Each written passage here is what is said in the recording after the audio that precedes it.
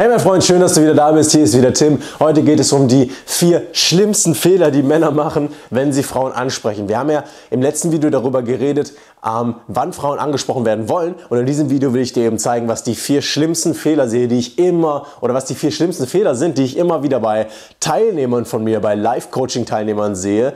Und die kannst du einfach in Zukunft vermeiden, wenn ich sie dir jetzt verrate. Der erste Fehler ist, dass die meisten Männer einfach zu lange warten. Ja, es gibt diese 3-Sekunden-Regel. Man muss sich nicht unbedingt an diese 3-Sekunden-Regel halten, aber es ist hilfreich, wenn man die Frau, wenn man sie sieht, einfach direkt anspricht.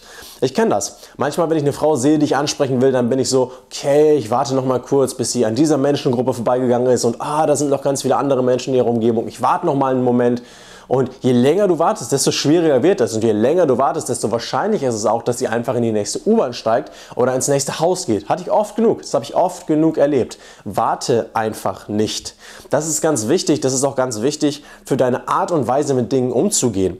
Ja, du willst ja als, als anziehender Mann wirken. Ja, du willst einfach ein Mann sein, der sich die Dinge holt, die er will. Und ein Mann, der sich die Dinge holt, die er will, der wartet eben nicht noch drei Minuten, bis sie an dem perfekten Ort ist, so wie ich das bei meinem ersten Mal ansprechen gemacht habe, sondern dieser Mann holt sich einfach, was er will. Er sieht sie, geht einfach hin, direkt und spricht sie an.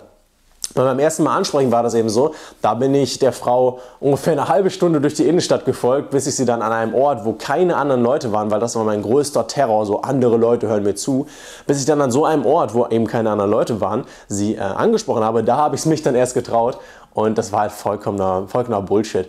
Ähm, du nimmst dir halt selbst die Energie raus, du du wartest in dieser Angst. Also du kannst mutig hingehen, einfach direkt hingehen, mutig sein. Oder du kannst halt so, ah, ich habe ein bisschen Angst und ich, ich bleibe noch ein bisschen in dieser Angst und gehe mal noch ein Stück hinterher und guck mal, was passiert. Und das wirkt sich ganz stark darauf aus, wie du dann wirkst, wenn du die Frau ansprichst. Wenn du dich durchkämpfst und sie direkt ansprichst, dann hast du halt auch eine andere Ausstrahlung. Dann wirkst du einfach so, boom, ja, wie so ein Vorschlaghammer. Aber wenn du eben wartest und dich in deiner Angst erstmal ein bisschen badest, dann ist einfach die Wirkung komplett anders. Und das ist ein riesiger Fehler, einer der größten Fehler, den die meisten Männer in meinen Coachings immer machen. Die zweite Sache ist, dass sie vor den falschen Dingen Angst haben, sage ich mal. Und zwar haben die meisten Männer Angst davor, abgelehnt zu werden. Wovor du aber eigentlich wirklich Angst haben solltest, ist, eine Frau nicht kennenzulernen, die perfekt zu dir passt. Ich will gar nicht wissen, wie viel von den Frauen, die ich nicht angesprochen habe, obwohl ich sie ganz gerne angesprochen hätte, das ist mir natürlich auch schon passiert, ich will gar nicht wissen, wie viele Frauen von diesen, von diesen Frauen zu mir gepasst hätten. Ich bin mir sicher, dass ein Großteil der Frauen, dass da sich was daraus ergeben hätte, aber ich habe mich einfach nicht getraut. Ich habe es einfach nicht gemacht. Ich hatte Angst vor dieser Zurückweisung. Und es gibt eben die Angst vor der Zurückweisung, aber bevor du wirklich Angst haben solltest, ist die Angst davor, dass du eine Frau gehen lässt, die perfekt zu dir, frast, äh, zu dir passt. Dass du eine Frau gehen lässt, die theoretisch äh, sich zwei Tage später mit dir auf ein Date getroffen hätte, mit der du Sex gehabt hättest. Du hättest dich ein paar Wochen mit ihr getroffen, ihr hättet euch verliebt, wärt zusammengekommen und du würdest halt äh, ja, jeden Morgen neben ihr aufwachen und jeden Abend neben ihr einschlafen. So diese Möglichkeit, das nicht wahrzunehmen, das ist das, wovor du wirklich Angst haben solltest. Das ist das, was, was dir wirklich Angst machen sollte. Nicht diese Zurückweisung. Du gehst zu der Frau hin, sie ist so, hey, nein, ich bin nicht interessiert. Meistens sagen die Frauen sowas auch überhaupt nicht. Äh, sie so, vielleicht ist sie so, hey, nein, ich habe einen Freund. Du bist so, okay, dann nicht. Und das hat dich einfach drei Sekunden Überwindung gekostet und ja, ein bisschen Angst war auch dabei. Aber wie viel schlimmer ist es, eine Frau gehen zu lassen, die eigentlich perfekt zu dir passt? Überleg dir das mal. Das ist ganz, ganz krass. Und lass mir dir eins sagen. Es gibt nicht so viele Frauen da draußen, wo du und sie auf den ersten Moment gut zusammenpassen könnten. Und wenn du die Frau siehst und sie gefällt dir schon mal, dann ist ja schon mal 50% erledigt. Du magst sie schon mal. Jetzt muss sie nur noch dich mögen. Und wenn du diese Frauen, die du schon mal magst, einfach gehen lässt, dann du schießt dir einfach so stark selbst ins Bein, das ist ganz krass. Und das sehe ich immer wieder bei meinen Coaching-Teilnehmern, dass sie, oh nein, oh, ich mach's lieber nicht, ich könnte abgewiesen werden, statt hinzugehen und zu schauen, was passiert. Weil zu verlieren hast du ja nichts an dieser Stelle. Deswegen, wenn du eine Frau siehst, die dir gefällt, sprich sie einfach an. Es könnte eine Frau sein, die gut zu dir passt und du willst sicherlich nicht diese Chance verlieren. Die dritte Sache, die ich sehe und die mich am meisten aufregt und die sich am schlimmsten auswirkt, ist, dass du zu halbarschig bist. Und zu halbarschig sein heißt, zu der Frau hinzugehen und es ungefähr so zu machen. Äh, hi, ja, ähm, ich, irgendwie gefällst du mir und ich wollte dich ansprechen. Ähm, ich habe dich da drüben gesehen, deswegen habe ich dich angesprochen und ähm, ja, du gefällst mir irgendwie. Äh, hi. So ungefähr sieht halbarschig ansprechen aus. Und wenn du halt eine Frau wirklich ansprichst und dir mal Mühe gibst, dann, oder was heißt Mühe geben? Es geht mehr darum, dass du einfach auch, dass du wirkst auf die Frau, dass du hingehst und sagst, hey, pass auf, ich habe dich gesehen, du gefällst mir, ich will dich kennenlernen. Hey, pass auf, du gefällst mir, wer bist du? Oder auch eine indirekte Art und Weise mit der Frau ins Gespräch zu kommen. Das geht ja auch. Ähm, aber dass du einfach hingehst und dass du einfach da bist, dass du präsent bist, dass du wirklich sagst, hey, pass auf, deswegen bin ich hier, ich stehe dahinter, no shame, keine Scham. Deswegen bin ich hier, ich will dich kennenlernen. Und nicht dieses, äh, hm, ja, vielleicht. Äh, hm. Ja, die meisten Männer machen das halt super, super halbarschig. Hm, ich weiß nicht genau warum, wahrscheinlich weil sie Angst haben, dass zum Beispiel Leute ihnen zuhören können, verstehe ich, hatte ich auch eine ganze Zeit, habe ich auch manchmal immer noch. Um, oder dass sie abgewiesen werden können. Aber du darfst dich eben nicht in diesen Ängsten aufhalten, weil wenn du dich in diesen Ängsten aufhältst, dann kommt eben dieses Halbarschige, dann machst du es so super halbarschig und ähm, wenn die Frau merkt, du bist gar nicht so richtig dabei, du stehst gar nicht so richtig hinter dem, was du da sagst, dann turnt das die Frau einfach nur ab. Ja, dann entsteht vielleicht ein ganz lustiges, nettes Gespräch, aber was Tolles entsteht da nicht draus. Es ist wie die Frau, die ich eben in Hannover angesprochen habe, das erste Mal, wo ich angesprochen habe, was ich eben schon mal erzählt habe.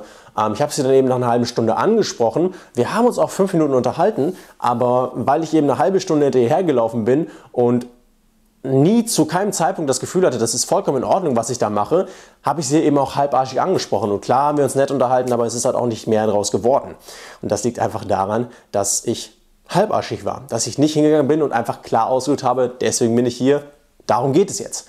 Und wenn Männer das machen würden, wenn die nur diese eine Sache ändern würden, ja, hm, dann ähm, könnten die meisten Männer ihren Erfolg bei Frauen einfach verdoppeln und das in kürzester Zeit. Die vierte Sache ist, dass du falsch denkst.